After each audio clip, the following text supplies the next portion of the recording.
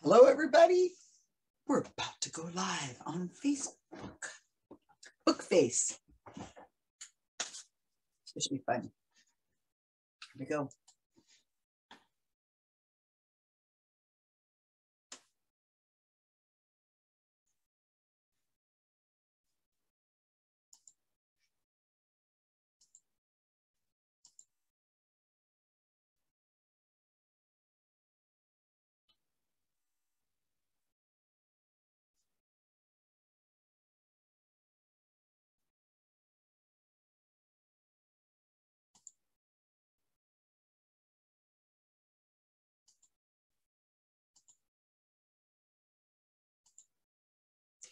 I am.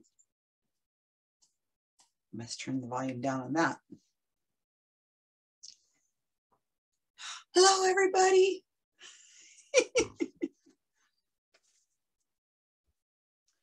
I am all set. I have my Diet Coke because I cannot get Diet Dr. Pepper right now for some reason. I have my mason jar here. I have a Sunday, chocolate Sunday from McDonald's, my phone, and my computers, and I'm ready to talk. You guys, this is so exciting. We have hit 100 million page views. You have no idea how astronomical that number is. That is, I, I keep saying a million. It's a hundred million. It's not 10 million. It's not a million. It's not several ton 10 millions. It is a hundred million over a hundred million. I thought we had a few days to hit this number but oh my gosh. So in celebration let's just talk and let's talk about how awesome it is and how you can get involved and maybe you can meet some of my team members and maybe you can meet some of my some of the other people we've had a lot of who've, supported us over the years and who's had a lot of um, We've written the Wikipedia pages, a lot of successes for. Just thrilled, just just thrilled. I like I said, I thought we had several days. I can't believe I that we did this in in it only took us about 10 years. I don't have a real start date for GSOW. So this is the Wikipedia project that I have been honored to run and well, kind of invent. And um, and we'll talk about the history of it. I wonder if Tim Farley's around anywhere. Can somebody tag Tim Farley and say, hey, Tim Farley, come and talk to Susan about the origins of the GSOW project. Somebody tag him. Here, I'm going to send him a private message too. So see if, see if he, he's around and see and see if he'll do it because he's kind of the start. Ah, he's not on Facebook anymore hardly at all. Darn him. How could you not? This is just the best thing in the world. I know, I know. Don't get me started. It'd be great if he's if he was here.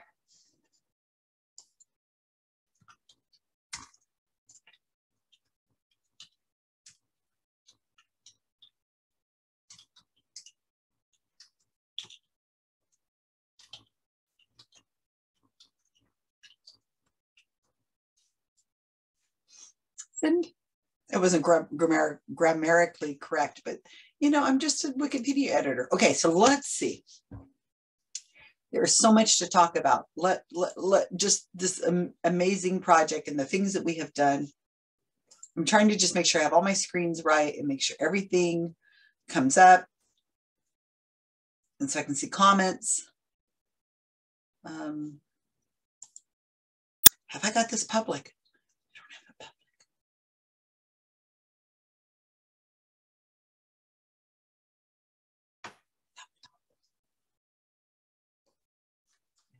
Ice cream.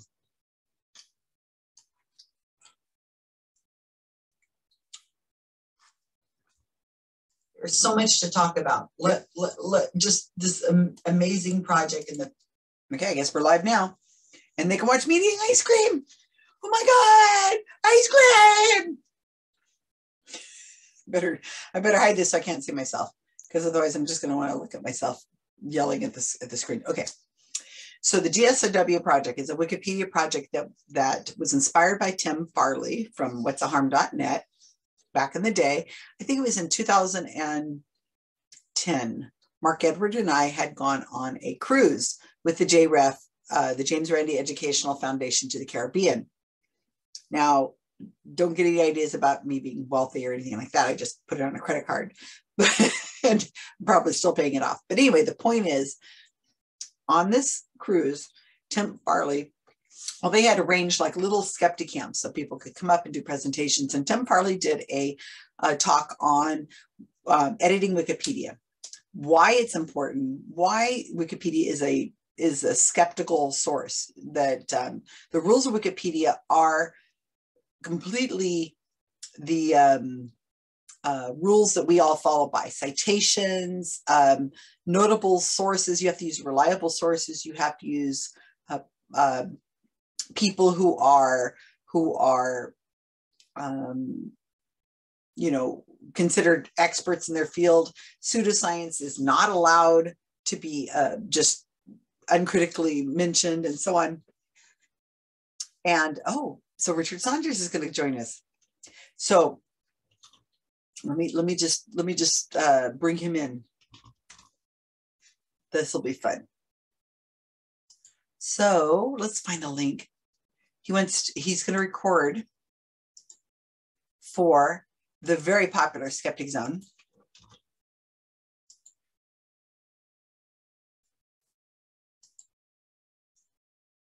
One of my very good friends. Right there.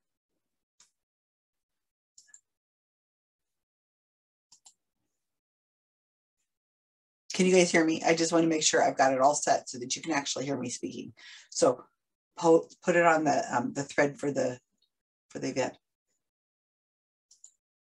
There's Richard.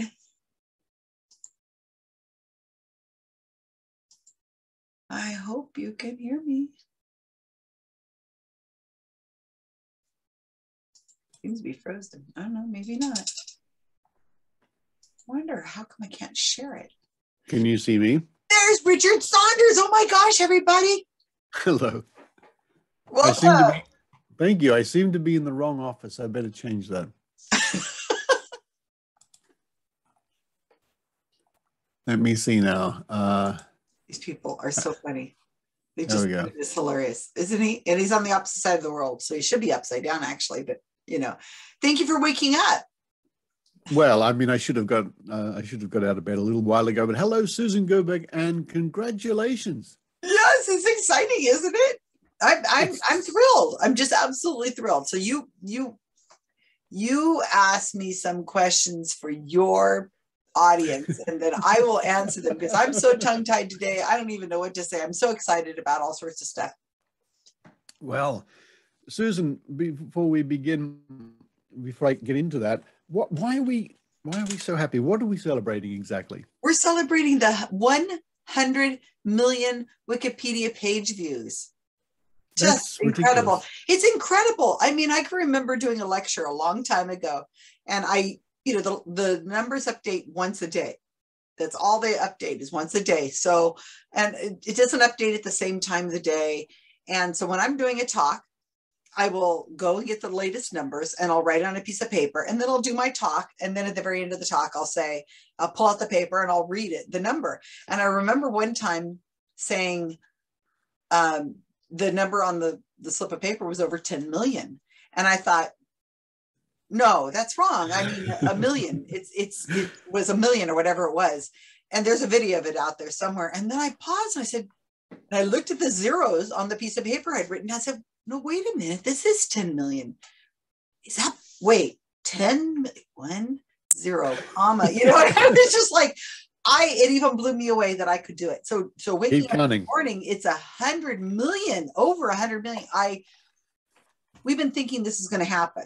You know, we've been watching the numbers update, but you're, it's random. It, it depends on how many people are viewing a Wikipedia page. So we can't track it exactly. And since it only updates once a day at night, yeah.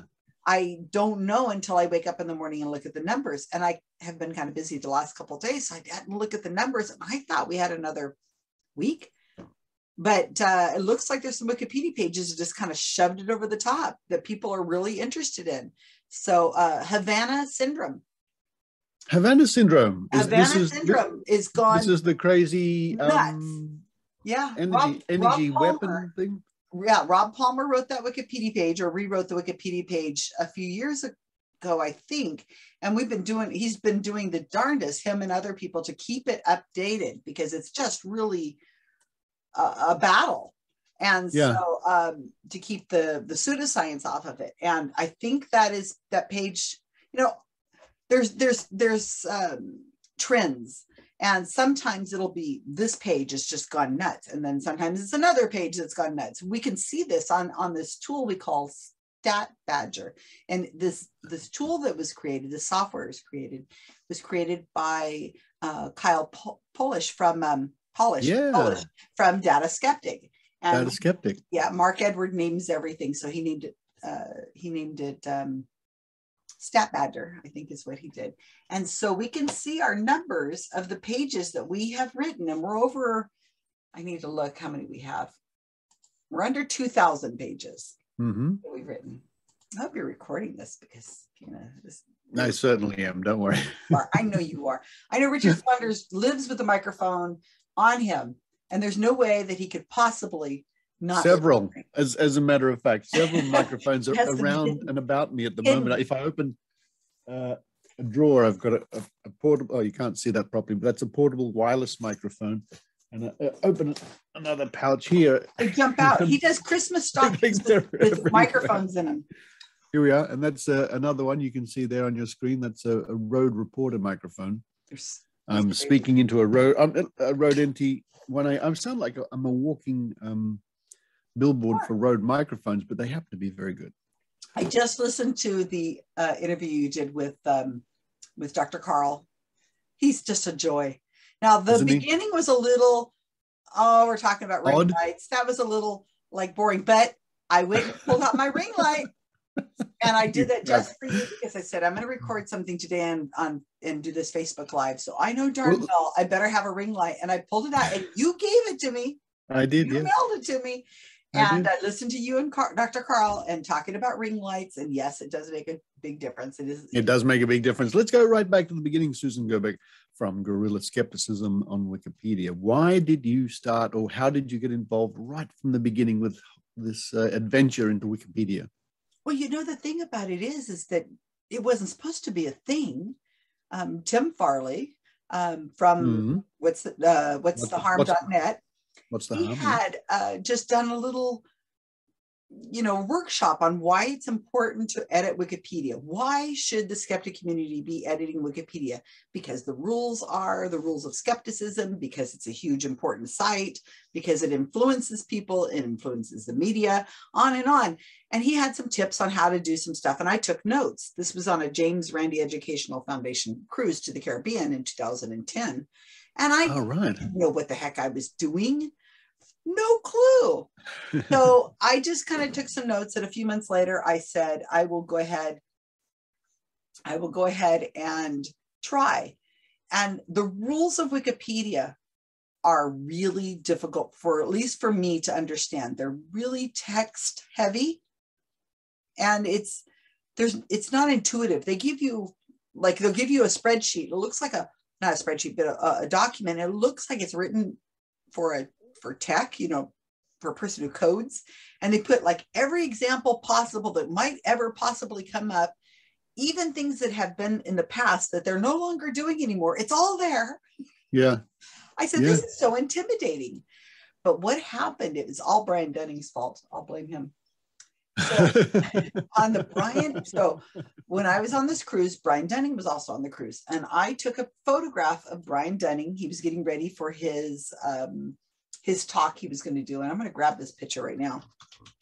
And he was taking, he was, he was, you know, thinking about what he was going to do, and I took a photograph of him because I'm a professional portrait photographer. At least I used. Yes, to. that's right. I remember baby. Back right? in the day, back in the day, and so um, he. uh I took the picture and then months later I said, you know, I would I'd like to put this picture I took of Brian Dunning up on his Wikipedia page. And I looked at his Wikipedia page and it was just crap. I mean, really, mm-hmm. it was like four citations or something. It was just really awful. So I tried I put the photograph on there thinking that, you know, I put the photograph and it looked really good. And then I thought, well, you know, the whole page looks awful. So wait, wait a minute. You put a photograph up of Brian Dunning and it looked really good. There must be something wrong it looked fantastic. But the problem was is that I the rest of the Wikipedia page looked awful. So I just went through and learned how to do it. Oh, where is that picture? There it is. Okay, let me let me show everybody this photograph of Brian Dunning on um, a cruise, a JRF cruise. So I took Good photograph. grief. Yeah, I put Good that picture. Grief. Mm-hmm. Yeah. So, folks, for listening, we're looking at a picture of Brian Dunning, sort of in the corner of the ship there on the deck, and um, looking down at an old-fashioned laptop. Yeah, look at that laptop. An old computer. Mm-hmm. he, he there's a phone looks, on the wall. There is a phone on the wall. There's a phone on the wall. He almost looks earnest and, and like he's pretending to be, you know, serious and do some work. Look at that. Mm-hmm we we, we, we like to razz Brian every now and then. Yeah. Every now and then, any chance we get. Uh, it was wonderful. So he, um, so I put that Wikipedia, I mean, that picture up on his Wikipedia page, and then proceeded to try, try to rewrite this Wikipedia page.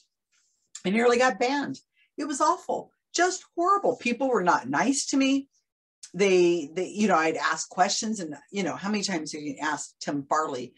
You know, I'm I'm a beginner. I'm a photographer. I am. I do. I'm history is my thing mm-hmm. social history.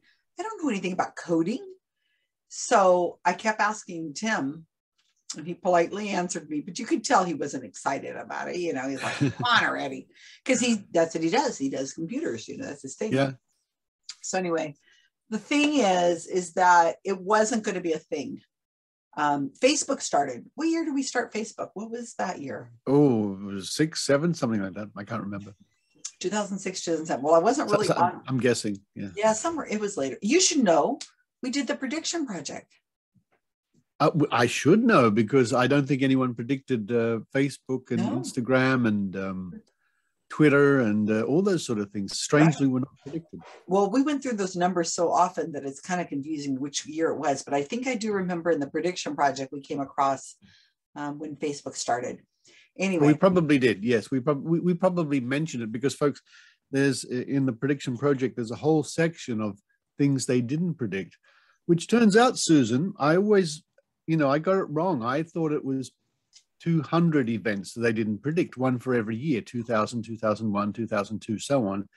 But I'm doing it yesterday, working on the database, I discovered, of course, it's 2010 predictions because every year in the prediction project we're covering 2000 all the way to 2020. That's 21 years. Yeah, that's as right. It turns out. Absolutely, which is the same age as Wikipedia, or almost. We're at 20 years for Wikipedia, right? It uh, started in 2001. Okay, okay. January. So this year, next January, I guess that'll be 21 years. So yeah, we're all connected. Anyway, the point is, is that Facebook yes. started and I posted on Facebook and I had like, you know, 10 friends or something like that. And I said, um, I had edited Wikipedia and I'd made these changes and stuff. And, and I think Lee Pinter and Dustin Phillips, who I didn't know very well, we were Facebook friends. They just said, well, what are you doing? What's that all about? And so I said, well, I'm going to do this. And so they said, well, show me how to do that. So we went back and forth. It turned out to be like a group of five people for through email. And then right. Facebook kind of just grew and grew. And then somebody said, Hey, do you, uh, Mark Edward said, let's go, we're going to go to Colorado and do a skeptic camp. That's what it was. And I went and I said, I'll do a, I want to do a skeptic camp talk too. Mm. And uh, so I did. I didn't know what the hell I was doing. I, I hopefully it doesn't the video doesn't exist. And then I did for the Barry Skeptics, which is happening this weekend, you guys. Skeptic It is, yes. I'll be there. Yep. Yeah. And so it's exciting. So I had uh, just tried to um, come up with a name. And as I said, Mark Edward names pretty much everything. And he says, let's call it Guerrilla skepticism on Wikipedia because we. So were- he's the one responsible for yeah, that name. Uh-huh. Yeah. Well, Guerrilla skepticism was what we had been doing. Mark Edward and I and and and others trying to do things with psychics and and, and that was just a term he used which was kind of more of a activism but growing yeah. from the, from the begin you know from your own small group into a bigger group and yeah he uh so it wasn't going to be a thing, Richard. It wasn't. It was just me and a few people. So what, what were some of the early pages you were working on apart from Brian Dunning? Well, the one of the first pages, and see, I have all this because because Kyle from Data Skeptic has done this. I can do this. I can look. I can look all this up.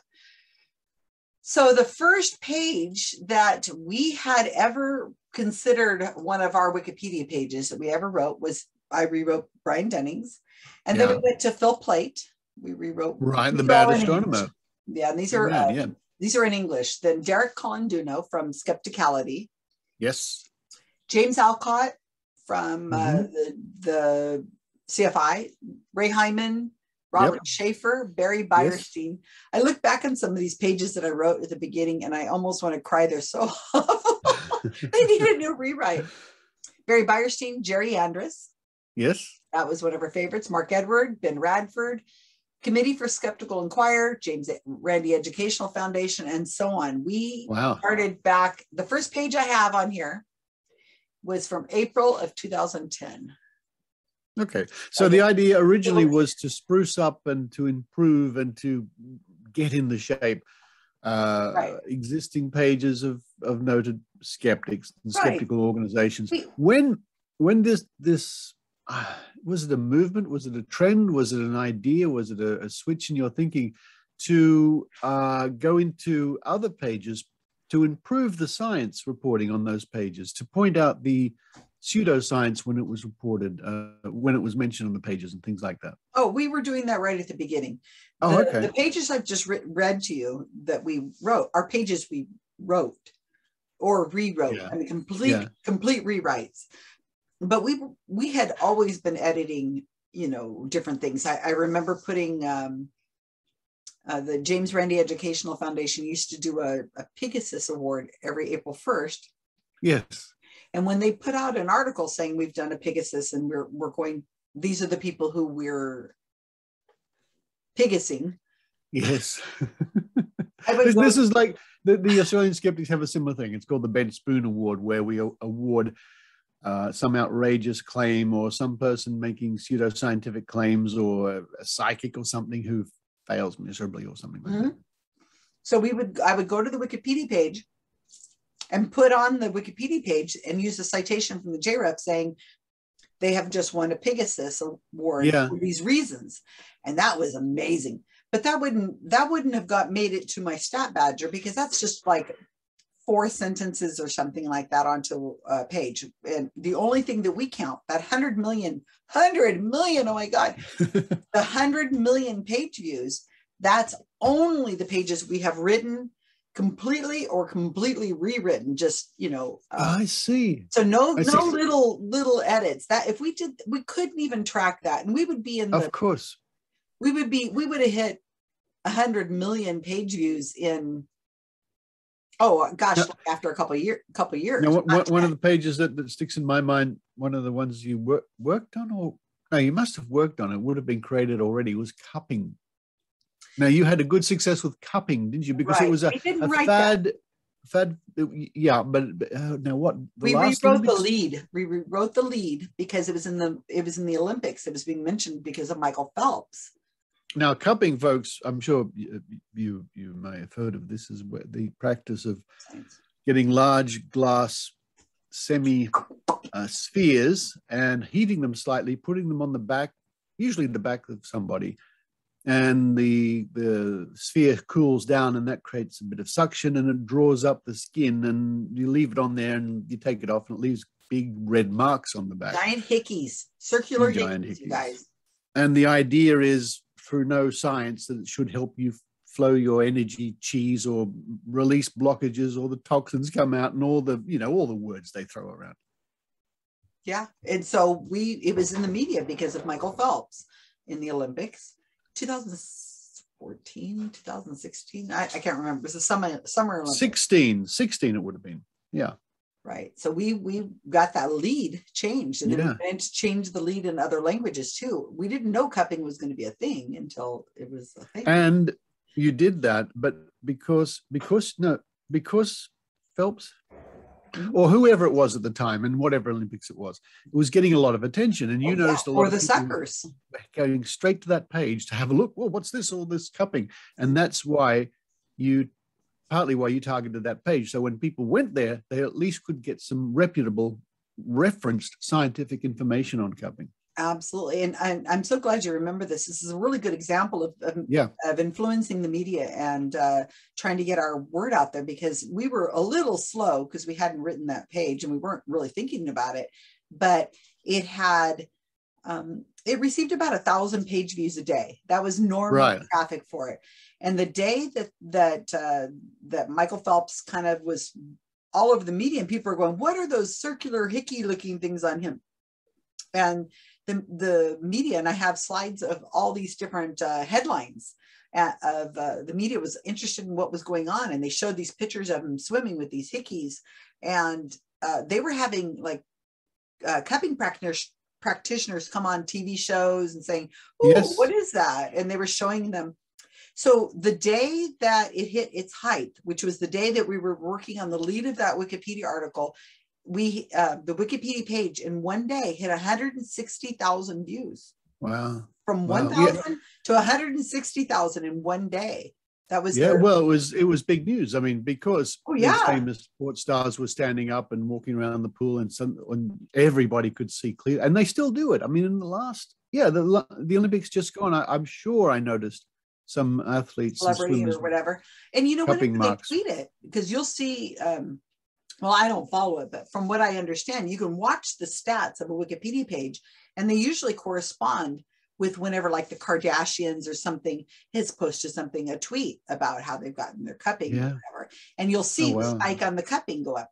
So people Yeah. are hugely influenced by celebrity uh, and sports figures, and they want to be like them, and they think that they're not only cool, but you know they want to follow their lifestyles. So Now you've had uh, you've had some interesting times with doing the work that the cabal, the team you have, and we'll get to how you folks, you at home, can be part of this movement, this revolution. mhm. Uh, you've had some interesting interactions with so-called psychics who you've written about uh, over the years, because that's what you do. You'll go onto their page and you put referenced factual information about uh, these so-called psychics, and sometimes it's the last thing they want to have on their page.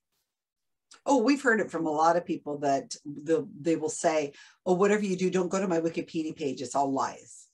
Uh, Right. We've heard this from anti-vaxxers. We've heard it from the Burzynski Clinic, the Cancer Clinic, when we rewrote that Hmm. Wikipedia page. We it was on their F it was on their FAQ on their website. Is it said, "Do not go to our Wikipedia page." um, and different psychics have said as well. They'll tell their fans, um, "Don't go there." Or if the fan says, "What is this information I read about you on your Wikipedia page?" They'll say, "Anybody can write anything on Wikipedia, so just ignore Yes. that." And Yeah, we hear that down- every so often. it, yeah.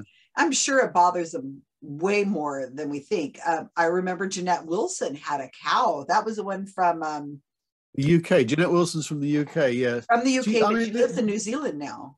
We okay. No, she's one of the, the gaggle of, of psychics who bill themselves as blah blah blah leading psychic or yeah. this you know most uh, celebrity psychic to the stars and you know they, they come and go. She's also anti-COVID. I mean, anti-vaccine is of course. Right. Of course. Pro you did Ghost. a. I did a whole expose on it with the New Zealand did. skeptics. They were Well, so why don't we- Why don't we use this as a great segue? So, not only do you go on and um, you add the, the correct references and citations to their Wikipedia page, but you you also do stings, your Yeah. famous stings, all named after food. Again, Operation- Mark, Mark has named them. Operation, you know, everything from pizza to hot chocolate to whatever you call them. And this is where you will be part of the audience of a virtual meeting of a psychic, or you go in person and you do undercover work. Yeah, absolutely. And I try to, um, and and I succeed a lot of the time to get people within our community to help. Um, Yeah. They, it's not just me because um, I might come up with a plan and I I might um, instigate it and pay for it with funds from our nonprofit. Please donate, people. I put the link in the chat. We need money to uh, help us keep doing these. Well, you can mention that link when we when we uh, wind up. We'll do that. Right. Okay. Well, it's also on my Facebook feed. I just put it there, you guys. So anyway, Right. the point is that yes, we went in and I recorded Jeanette Wilson in a, one of her workshops, and she Yeah. wasn't. She didn't expect to be recorded because she always says, "Oh, I'm pro-vaccine. I'm pro mammograms. I have no problem with 5G." She says these things in public, but in private, she's telling her people in the workshops completely opposite. So I recorded her, and uh, I got a, I got at least 16 minute rant of her talking about vaccines and how she's Yeah. anti-vaccine. And so I gave the the video I had uh, recorded to a reporter from New Zealand from Spinoff. Is that what it's called? Spin Spin. I don't know. I don't know. Remember don't the know name? that one. It's a main it's a main paper. Anyway, so he Okay. he interviewed me and he listened to the uh, recording and then he talked to Jeanette Wilson and and interviewed her and she said, "Oh, I'm pro-vaccine. What are you talking about?" And he said, "I just listened to the video." And she's Yeah. like, "What video?"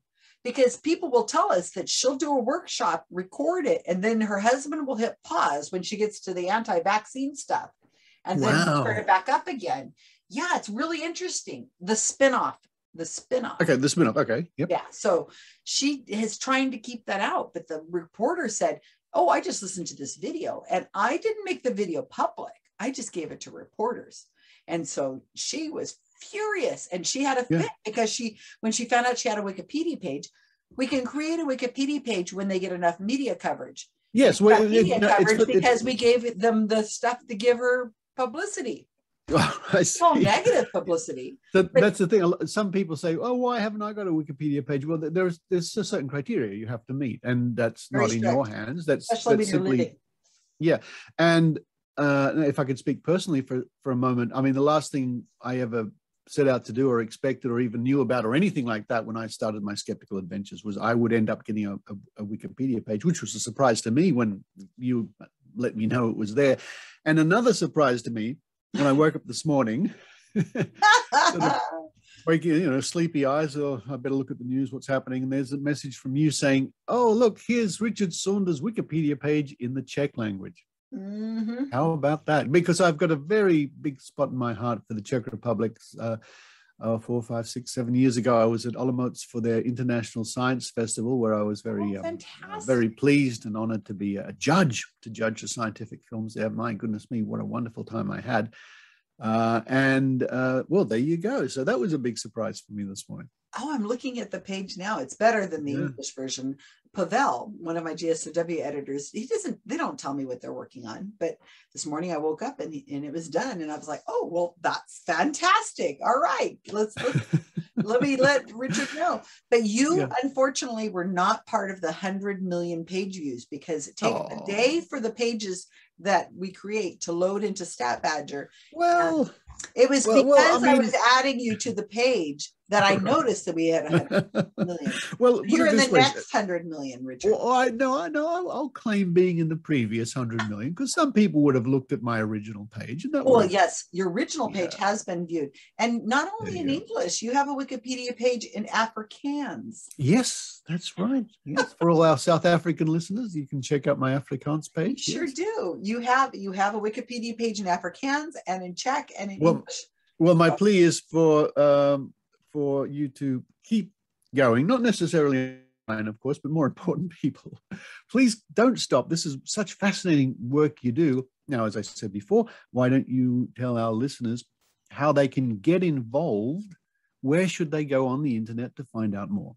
Well, they should come to Facebook and just message me if they are, you know, really have some serious questions. I'm happy to answer questions. Um, our secret cabal is located on Facebook. So. I'm very wary of making sure everybody understands that before they get all excited and say, I will never ever use Facebook ever in my life. Because that's where we are, we're located. Maybe someday we'll Yeah. move. But it, it it makes it easy for us to be able to communicate and share. And we are kind of a social group. You know, we can see each other's posts and talk Yeah. about each other's dog or whatever vacation they're taking. So we like that social aspect. But at the moment, Facebook is the perfect place for us to go through. But if they really want to just have some information, we do have a Facebook page where it has a lot of information on it. We have a website that's called gsowteam.org Mhm, mhm. and you can get information there. You can also go and um, just watch. Uh, we have an, a, a, Facebook page called About Time, which is the name yes. of our nonprofit. It's About Time Project. You can find it on Facebook. And um, there you can watch the thread of every time we post a new Wikipedia page, we talk about it. Every time we do a new sting, we talk about it. Every time there's some kind of new thing that's happening in the activism world that we're in, we we talk about it. Conferences we go to, all that kind of stuff. And we're going to be doing some I, I understand we're going to be going to conferences in 2022. So we're hoping to have some scholarships for the people who attend, um, who are part well, of the team. So I, I'm I'm I'm I'm angling. I'm talking to people in Canada. I'm angling for maybe a North American trip early in the new year, where I hope to. Uh, if you're listening, Adrian Hill, maybe get up to Calgary or something like that and have some. I would love to go to Calgary too. Yeah. Mm, There's so many fun? places I'm dying to visit. There was a lot of things I had to put off. And you guys, yes. I really want to come out to your group and talk to you one on one. And and I know Richard will do the same thing. We yeah, we, we really want to meet more people, and it helps grow. It really helps grow the community whenever we're. Yeah. Well, Susan Gerbic and Richard Saunders visit Calgary to eat maple syrup with Adrian Hill tour. We could call it that.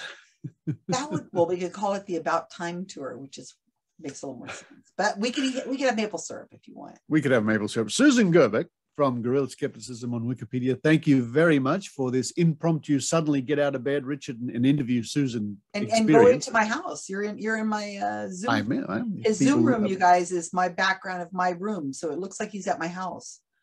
But every, every week when we play trivia or we're doing the prediction project, I always end up in, in, in your house for some strange reason. it, it is really but weird when you look out the window of your real house, wherever you really are, and it looks like you're looking out my window. Yeah, it's kind of weird. It's it, kind. It's kind of weird.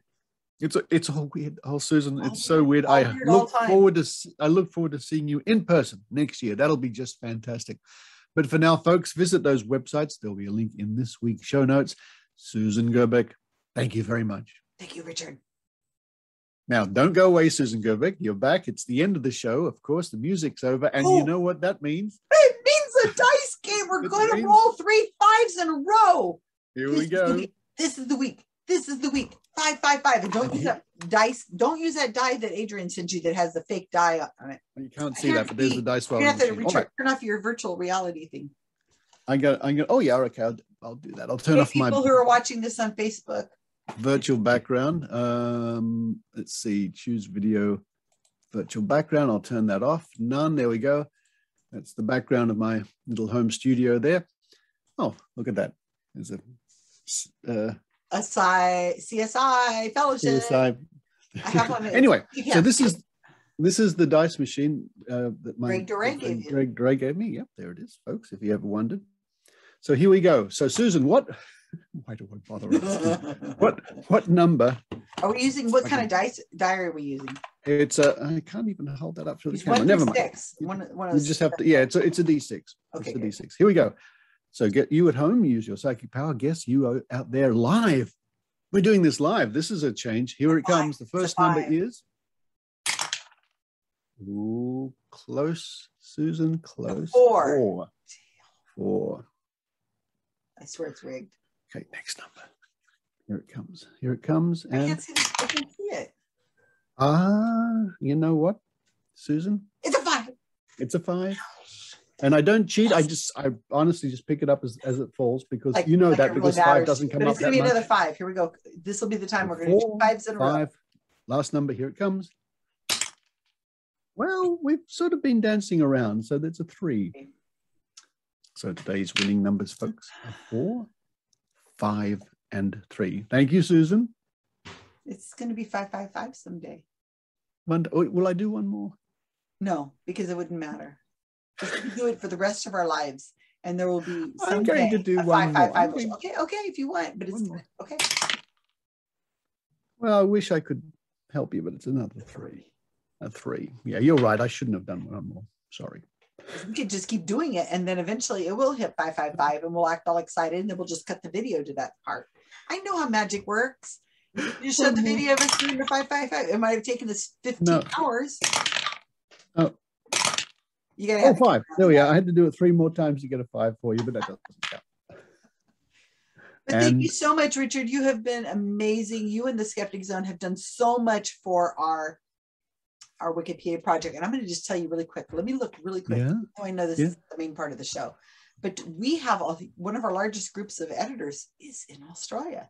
Believe yes, so I understand. Lots I of us. It doesn't surprise me at all. Mm-hmm. Australians mm-hmm. are just these people who are doers, and some of our more prolific editors came from listening to the Skeptic Zone, even though they're not on um, the Skeptic Zone. My uh, Rob Palmer found yeah. SOW from here. Yes, I interviewed him very early on. I think at a, yeah. at a, at a, uh, in Las Vegas. I think years ago. We have created sixty six. Now this isn't counting your page because yours hasn't loaded yet, but we've created sixty six Wikipedia pages, all focused on Australia.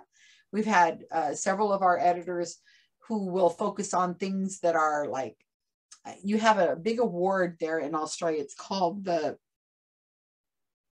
uh, not not Australian of the Year. I'm talking in science. It's a oh the Eurekas. No, it's something else. It's no. called some some people get they get these big honors. They get these big awards. It's a anyway. So, anyway, okay. Anyway, one of my uh, one of my editors, Julie, she bear she will go and she'll see who the winners are each year, and if they're in science, she'll look at their Wikipedia page. Oh, Order of Australia, I think. Order of Australia, order of, that's it. Yes, yes, And she'll go through and she'll pick out the people who haven't had Wikipedia pages or um, need them updated, and she'll go through and do them. So we've done several. Also, Friends in Science and Medicine. Yes, and those, all of them. Greg Nielsen. Dr. Karl, I'm looking at his Dr. Karl. We re- rewrote it, and I'm looking right now. As of last night, it's already had 200,000 page views. Fantastic. 200,844. So this is it make it makes a big That's just fantastic. You know? Just looking at it, there's over 900,000 Wikipedia pages views that we have tagged Australia. Fantastic. Well, more we, Australians. Come on, you guys. Yeah, come on, you guys. Come on, you guys.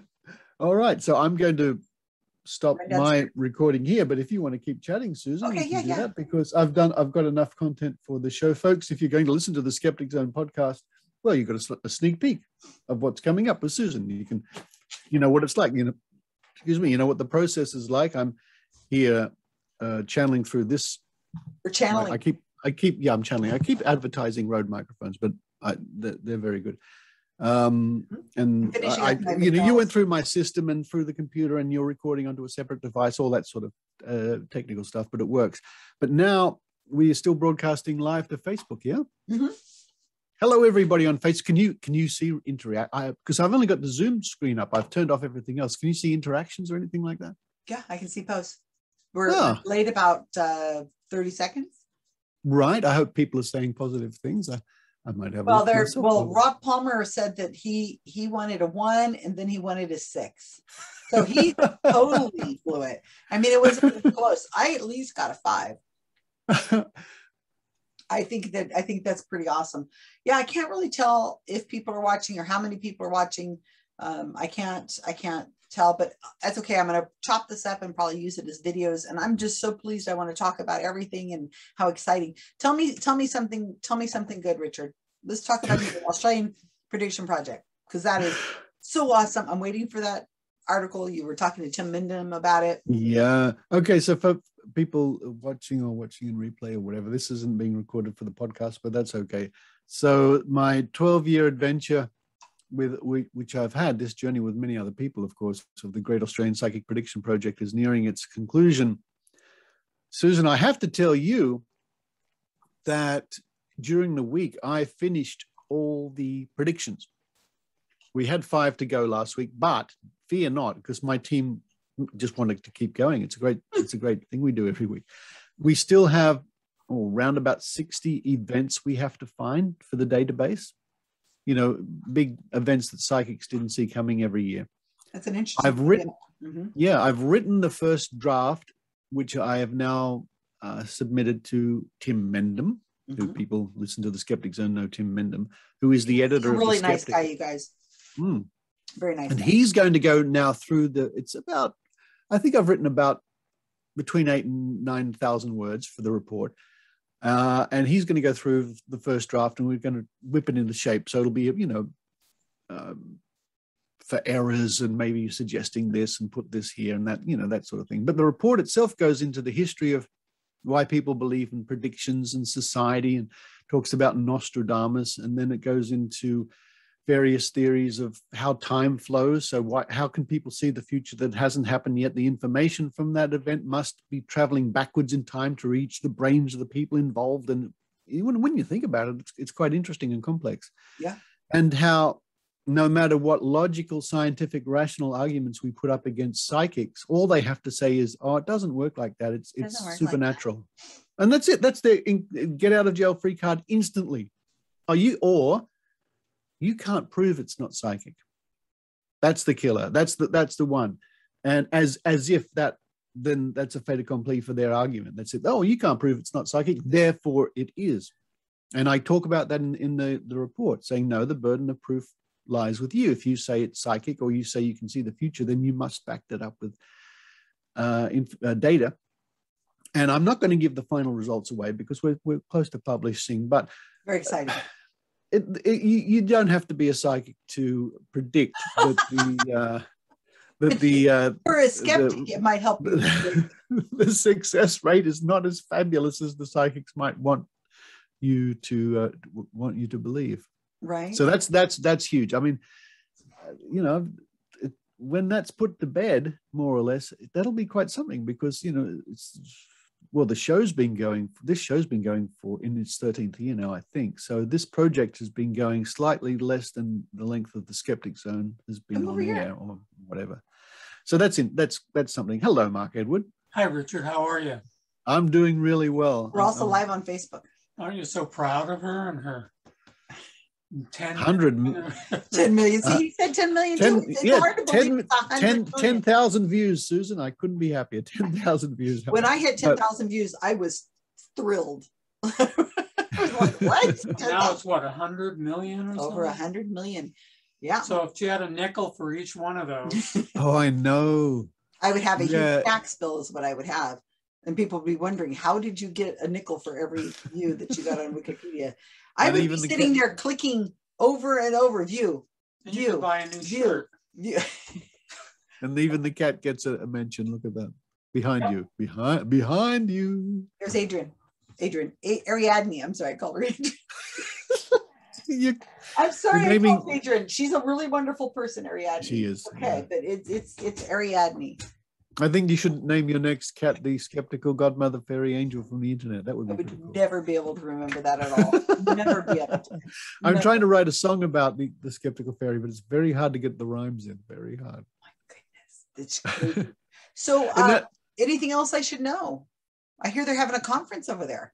Absolutely, the Australian and New Zealand um, skeptics are uh, coming together this year for the very first time to have a joint annual convention. This will be on the 20th to the 21st of November.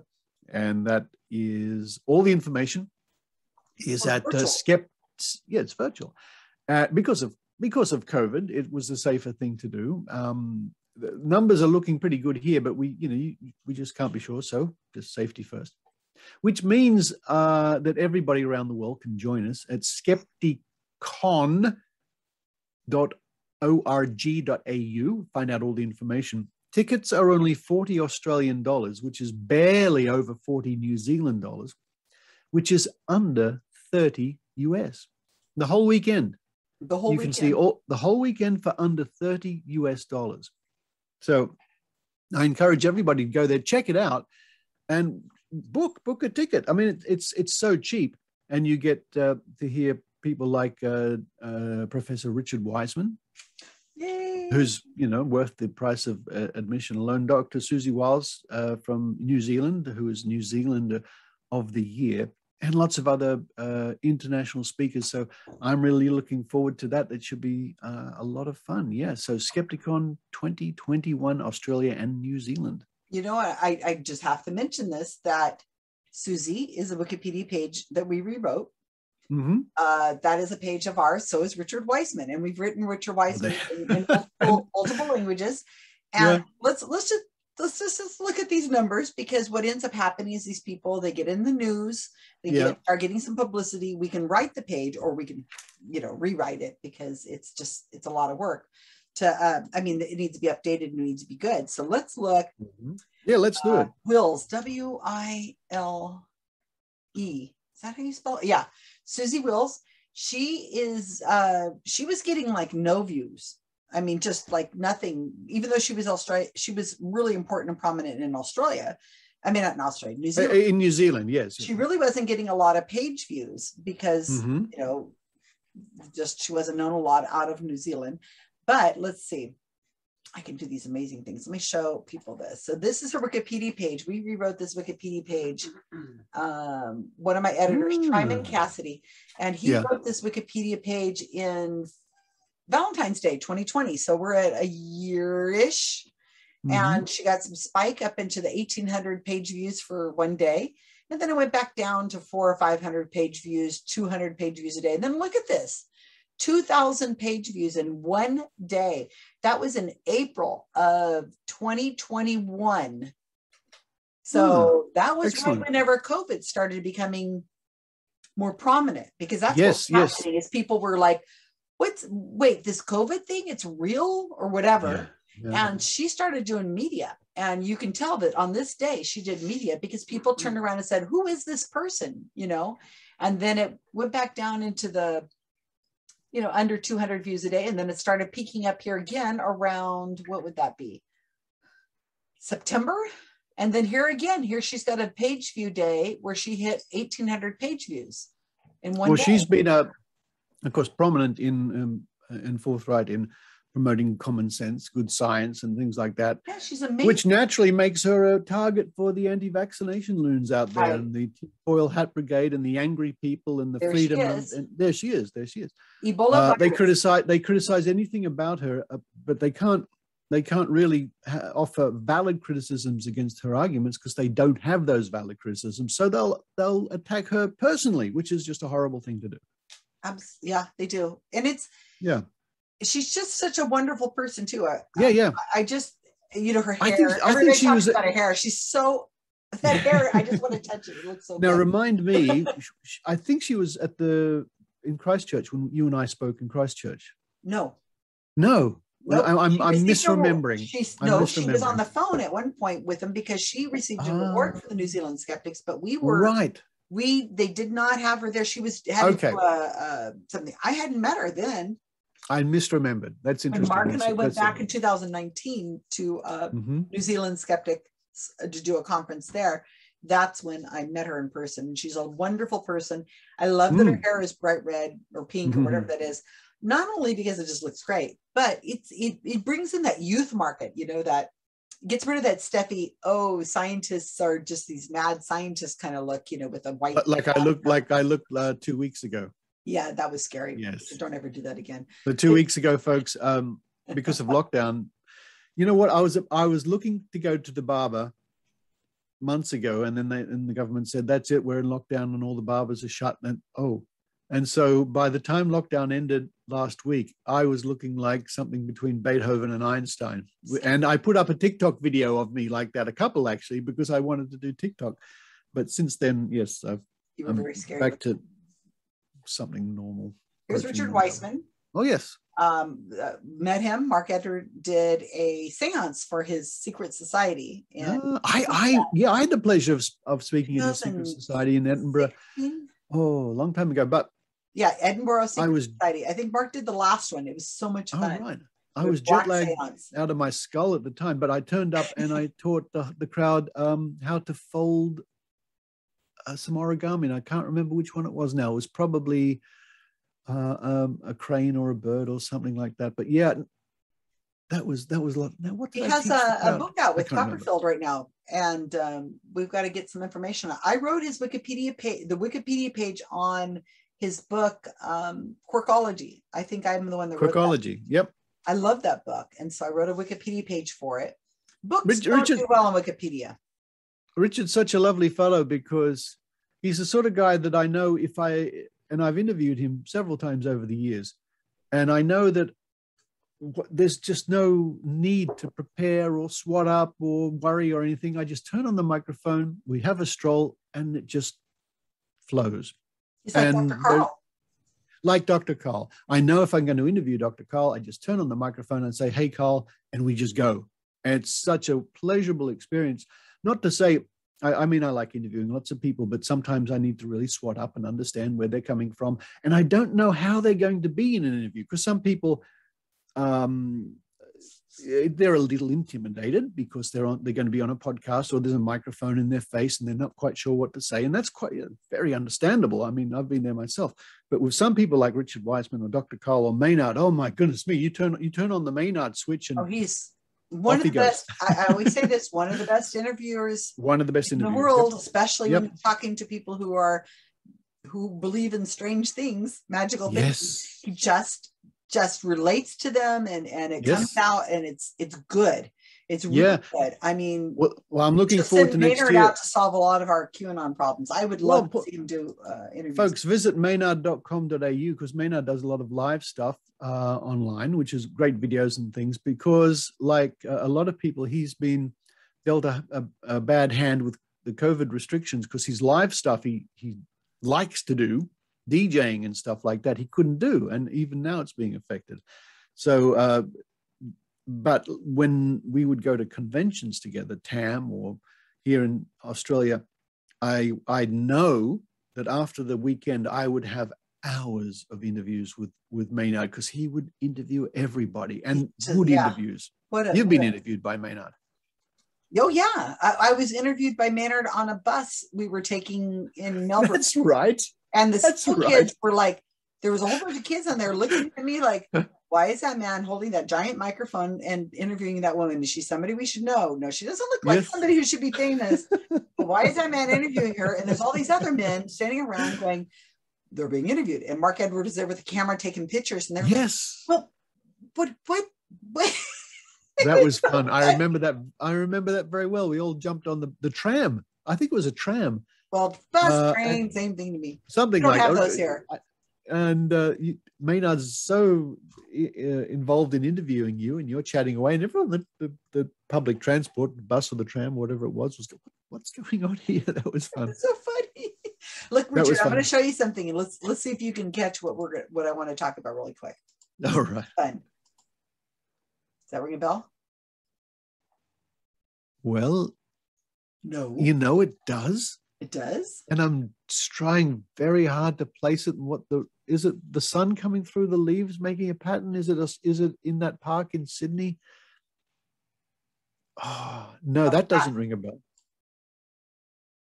Oh, that's the, the Winchester Mystery House. There you go. Winchester yes. Mystery House. You remember? You that? and I went there roughly two years back. You took me there and we wandered right through the house and we did a little interview after we were finished that was um, one of the times I was uh, visiting you, which I love to do in Salinas, and the time one of your cats brought a dead or half dead mouse to my door or something like that in the middle of the night. It was a gift.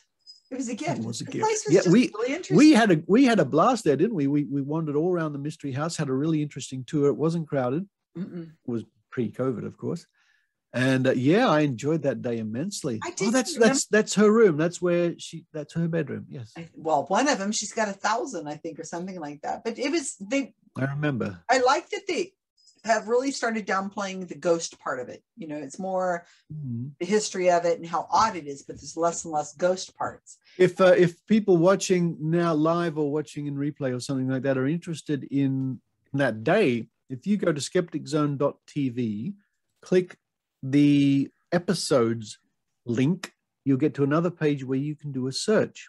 And all you have to put in the search is Winchester, and that will bring you up the episode where Susan and I were at the Winchester Mystery House, and you can listen right off your browser. Yeah, yeah that was great. That was so amazing place. What an adventure! And, and that's in, located in Santa Clara, people in California.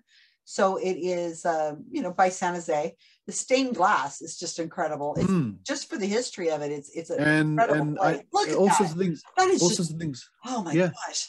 I'm remembering now they would point out parts of the house which were affected by the earthquake. Mm-hmm. And really like interesting that, place. The big earthquake. Um, you know, I can't I can't push it enough. I think it's a, a great idea to get people to go to these places, not only because uh, I mean, forget about the ghosty part of it, but there's a lot of really great history on it. And, oh yeah. Um, I mean, I mean, you and I, when we do these things, I mean, if if they throw in the hauntings or the ghosties of the stuff, you, it's okay. You know, we're big people. We can just sit there and smile and everything. But what we're we find far more fascinating, of course, is the reality, the historical um, happenings in the house and the reasons there, and and that sort of thing. It's like a ghost tour anywhere, like the ones here in Sydney, which are a mixture of ghost stories and history. So you go for the you go for the history, which is very interesting. And, what is it, Susan?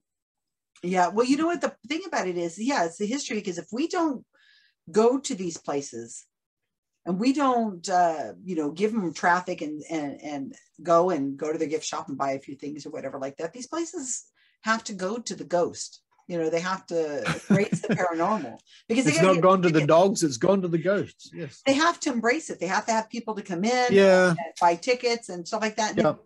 And if we want to keep it paranormal free, we have to visit them. I mean, well, you know, that's I, I agree. I hear what you're saying, but the, but I don't think things like that would ever be paranormal free. I mean, there's always people who enjoy hearing about the ghosty stories, even if it's just for fun.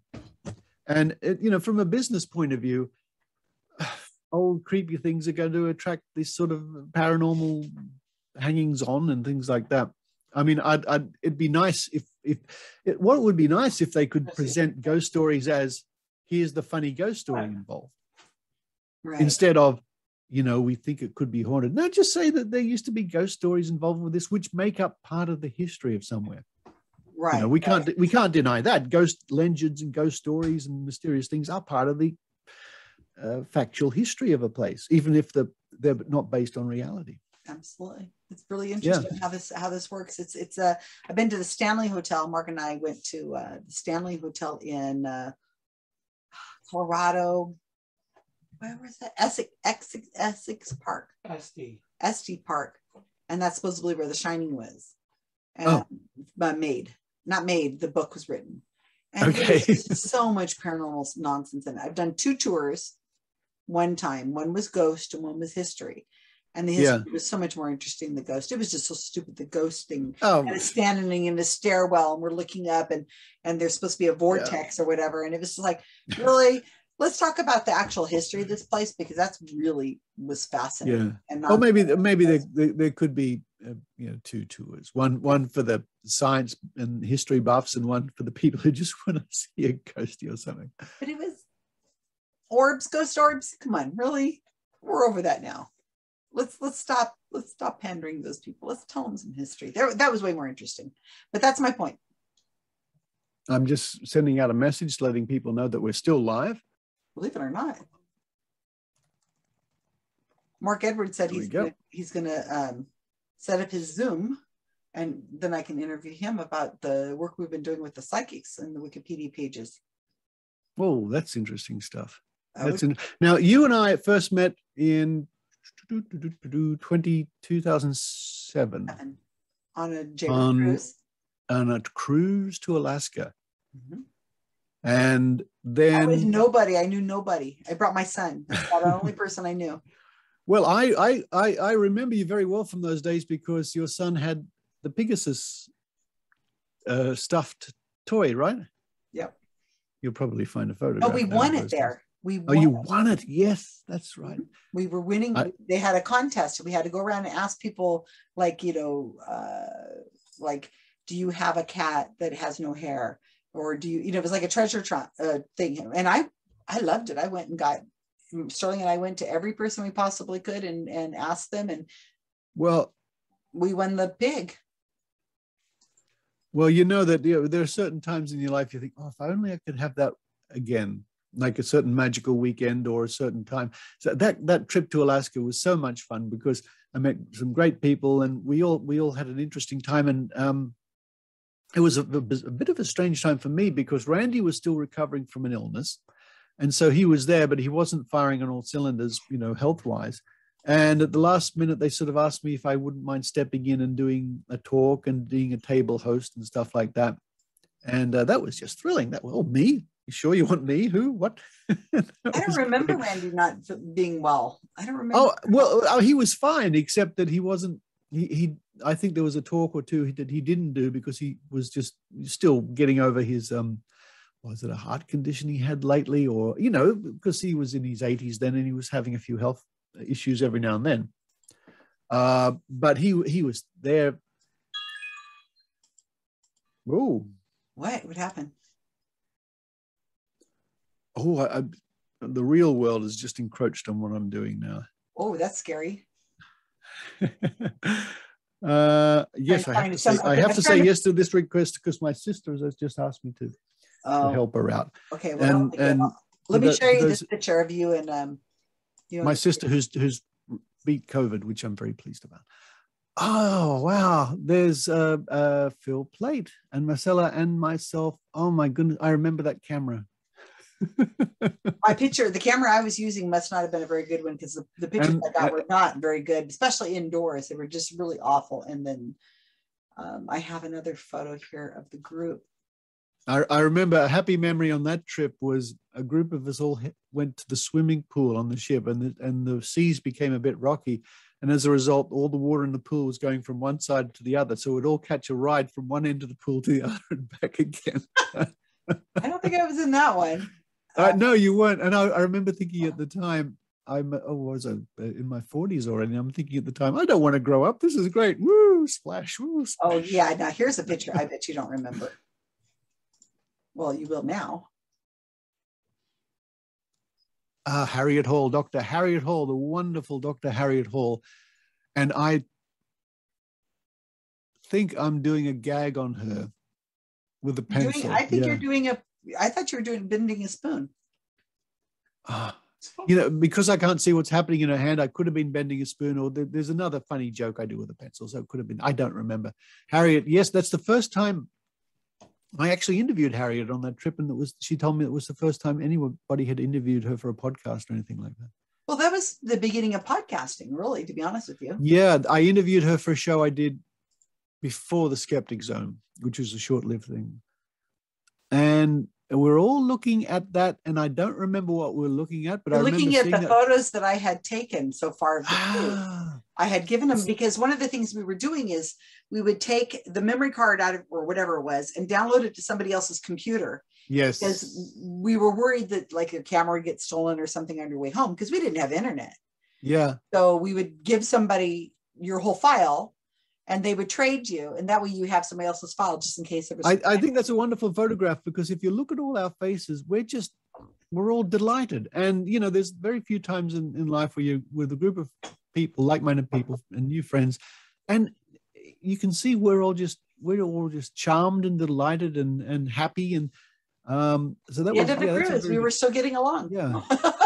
And some some people uh sad uh, very few some people did find the um the motion of the ship hard to deal with.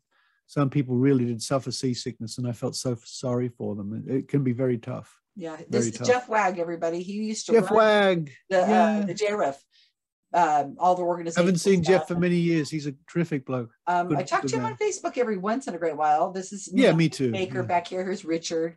Um, there's Phil Plait and his wife. There's Kitty. Yeah.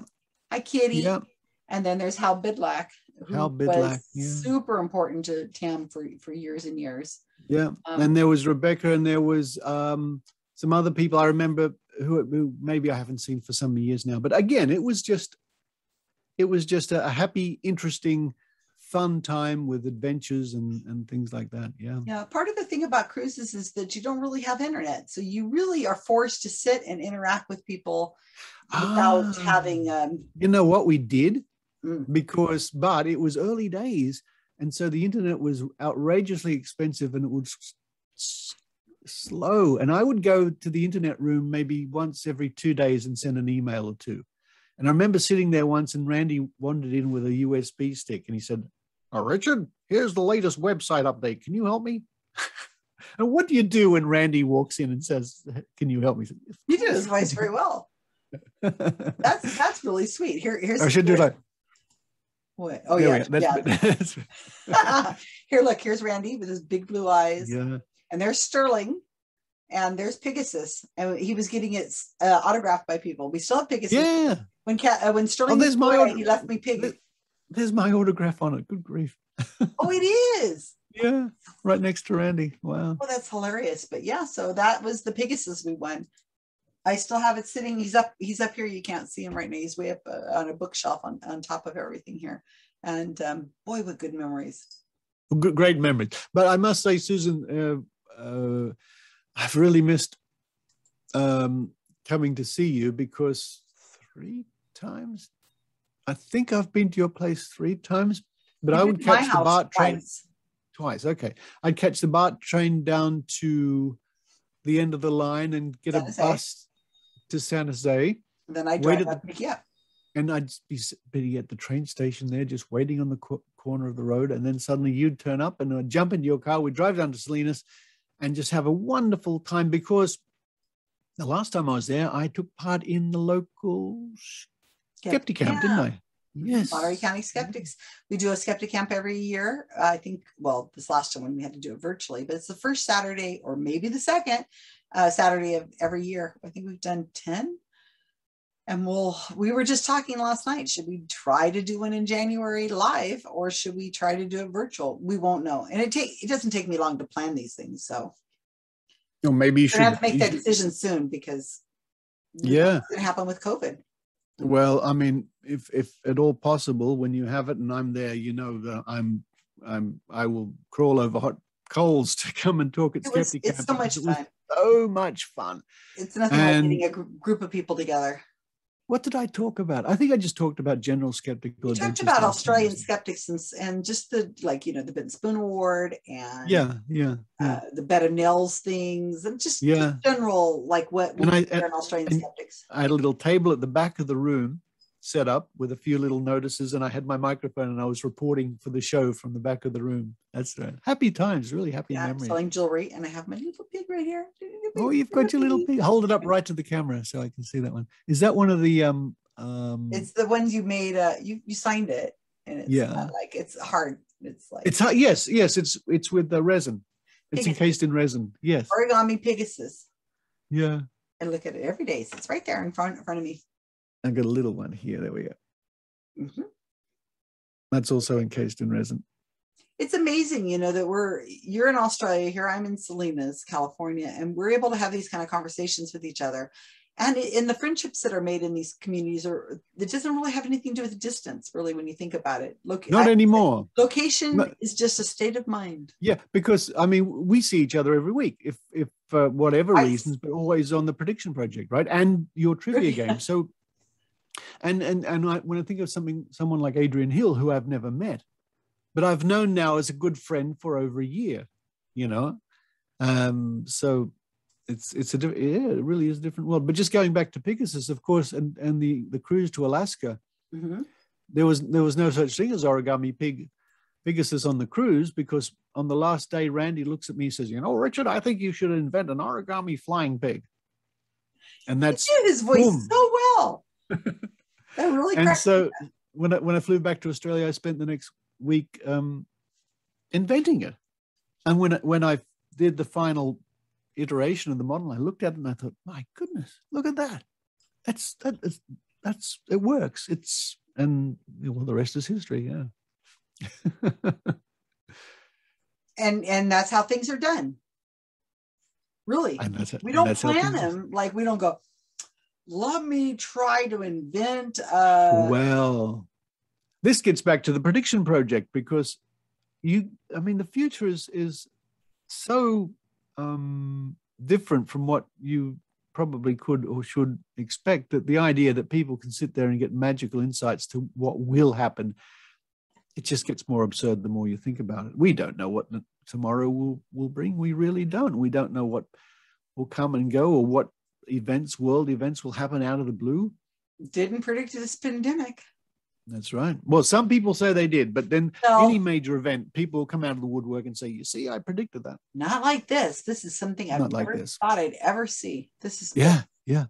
And the world of anti-science, I had no idea. It's. I tell you, I know. I think I was, I was mentioning this to Dr. Karl on the Skeptic Zone podcast that uh, this is really, really brought the anti-vaxxers to prominence so the rest of society can see what we've been dealing with now for decades. This these um, tinfoil hat anti-vaxxers. It's it's really made this apparent. I I And- would, I and- would and never not- thought. No. And not only the the the tinfoil hat brigade who just believe in the most bizarre, stupid conspiracies that make us shake our heads, but it's all the people they infect.